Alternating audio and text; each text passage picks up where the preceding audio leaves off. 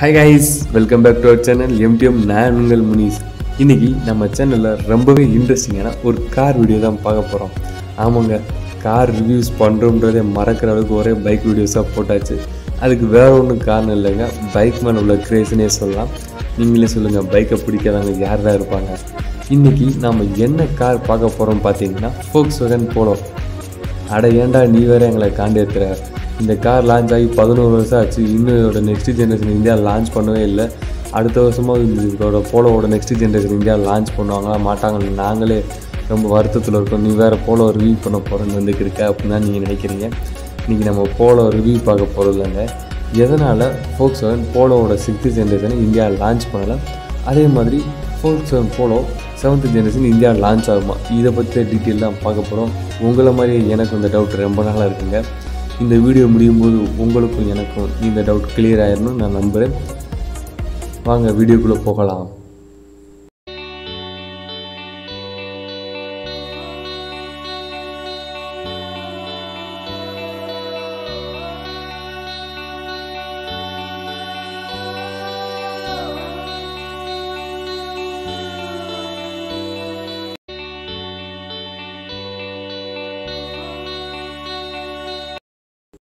Okay friends இப்போ நம்ம வீடியோக்குள்ளே வந்தாச்சு. ஃபோக்ஸ் வேகன் ஃபிஃப்த் ஜென்ரேஷன் போலவோ டூ தௌசண்ட் டெனில் இந்தியன் மார்க்கெட்டில் லான்ச் பண்ணுறாங்க ப்ரீமியம் ஹேட்ச்பேக் செக்மெண்ட்டில் நல்லா நோட் பண்ணிங்கன்னா தெரியும் ப்ரீமியம் ஹேட்ச்பேக் செக்மெண்ட்டை உருவாக்குனதே ஃபோக்ஸ் வேகன் தான்.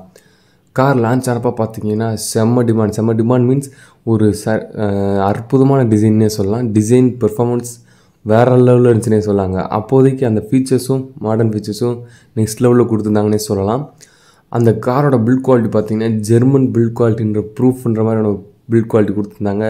ஓவராலாக அந்த கார் பார்த்தீங்கன்னா டாப் நாச்சுனே சொல்லலாங்க. ஆனால் டூ தௌசண்ட் செவன்டீனில் பார்த்தீங்கன்னா யூரோப்பில் சிக்ஸ்த்து ஜென்ரேஷன் லான்ச் பண்ணிட்டாங்க. ஆனால் இந்தியாவில் இன்னுமே லான்ச் பண்ணலை. ஒரு பெர்ஃபார்மன்ஸ் ஓரியன்டாகவும் சரி டிசைனிஸாக இருக்கட்டும் ஒரு மிகப்பெரிய ஃபேன் பேஸ் கொண்ட காரோட நெக்ஸ்ட் ஜென்ரேஷன் இந்தியாவில் ஏன் இன்னும் லான்ச் பண்ணலன்றதை இப்போ நம்ம பார்க்கலாம். அதுக்கு முன்னால் பிளாட்ஃபார்ம் பற்றி தெரிஞ்சுக்கோங்க. ஒரு ஃபஸ்ட்டு வந்து பார்த்திங்கன்னா பிக்யூ டுவெண்ட்டி ஃபைவ் இது வந்து பார்த்திங்கன்னா யூரோப்பியன் கண்டெய்னர்களுக்கு ஏற்ற மாதிரியான பிளாட்ஃபார்ம்னு சொல்லுவாங்க. அதே மாதிரி எம்கியூபி இது வந்து பார்த்திங்கன்னா லோக்கலைஸ் அதாவது இந்தியன் மார்க்கெட்டுக்கு ஏற்ற மாதிரியான பிளாட்ஃபார்ம்னு சொல்லுவாங்க. இதை ஏன் இப்போ சொல்கிறேன்னா உங்களுக்கே புரியும். சரி வாங்க எதனால் sixth generation Polo India launch பண்ணுன்றதுக்கு ஒரு நாலு ரீசன் இருக்குது அது என்னென்னு பார்க்கலாம்.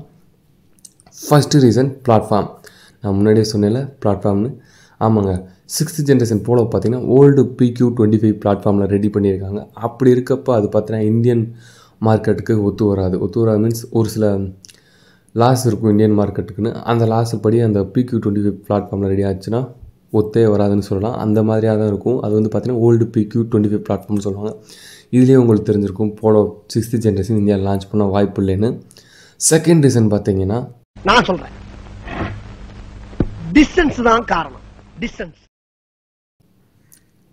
இந்த மாதிரி இந்த காரோட லென்த்து தாங்க காரணம். என்னடா லென்த்துலாம் ஒரு ரீசனாக அப்படின்னு கேட்டிங்கன்னா ஆமாங்க இந்தியாவில் ஒரு லா இருக்குது. அது பார்த்தீங்கன்னா சவ் ஃபோர் மீட்டர் லான்வாங்க அல்லது ஃபோர் மீட்டர் லான்னு சொல்லுவாங்க. ஹேட்ச்பேக் லான்ச் பண்ண போகிறாங்கன்னா அந்த ஹேட்ச்பேக் பார்த்தீங்கன்னா நாலு மீட்டருக்கு உள்ளே இருக்கணும். ஆனால் சிக்ஸ்த்து ஜென்ரேஷன் போல பார்த்தீங்கன்னா நாலாயிரத்தி ஐம்பத்தி மூணு மில்லிமீட்டரில் இருக்குது என்னப்பா ஐம்பத்தி மூணு மில்லிமீட்டர் தானே இதுலலாம் என்ன அப்போ போகுது அப்படின்னு நீங்கள் கேட்டிங்கன்னா அந்த காரை ஃபோக்ஸோன் குரூப்பே சொல்லியிருக்காங்க. இந்தியாவுக்கு சிக்ஸ்த் ஜென்ரேஷன் லான்ச் பண்ணோம்னா லாட் ஆஃப் கஸ்டமைசேஷன் ஒர்க் பண்ண வேண்டியது இருக்கும். அதனால் அந்த காரோட ப்ரைஸ் கூடும். ப்ரைஸ் கூடினாலும் பரவாயில்ல. அந்த காரோட டிசைனே சேஞ்ச் ஆயிரும். அப்படி இருக்கப்போ லான்ச் ஆனோம்னா ரெண்டு மார்க்கெட்டுக்கும் வேரி ஆகிறப்போ இந்த கார் சுத்தமாக சேல்ஸ் வைஸ் ரொம்ப அடி வாங்கும்னு ஃபோக்ஸ் வேகனே சொல்லியிருக்காங்க.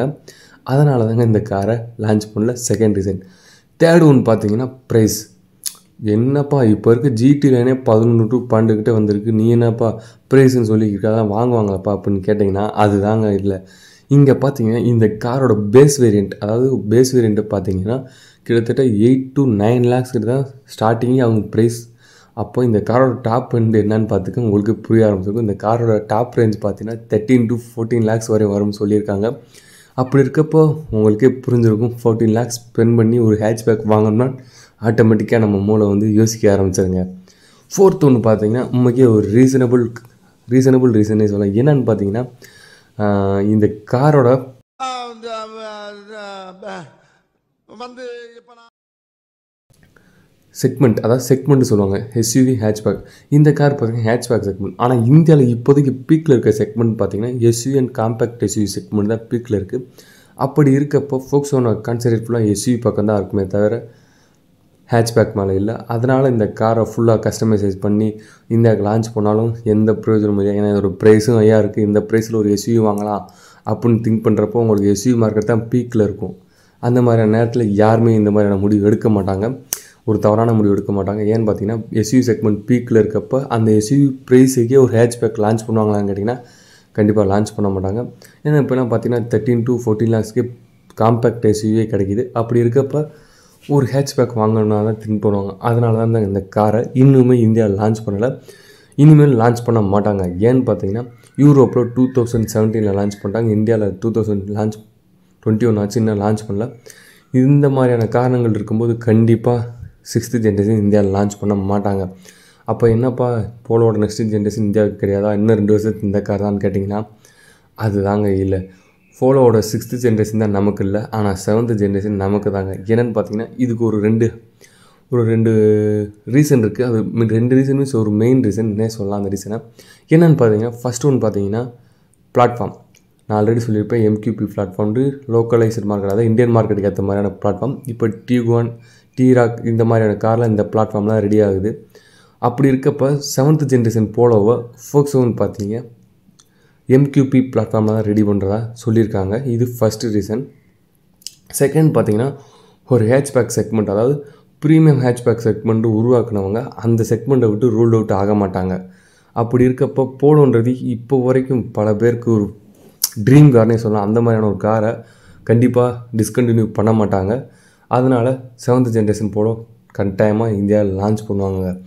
தேர்டு பார்த்தீங்கன்னா ப்ரைஸ் இப்போ இருக்க காரோட இப்போ இருக்க ஐ டுவெண்ட்டி தான் இருக்கலே ஒரு ஹையஸ்ட் ப்ரைஸ்ன்னு சொல்லலாம் ஹேட்ச்பேக்கில் அதே மாதிரி இப்போ போ போட லான்ச் பண்ணாங்கன்னா அதை விட ஒரு ஃபிஃப் டுவெண்ட்டி டு ஃபிஃப்டி தௌசண்ட் வந்து எக்ஸ்ட்ரா இருக்கும். அந்த ப்ரைஸில் லான்ச் பண்ணுவாங்க. அதனால் ப்ரைஸும் ரொம்ப வந்து கையை கடிக்காதுன்னு சொல்லுவாங்க.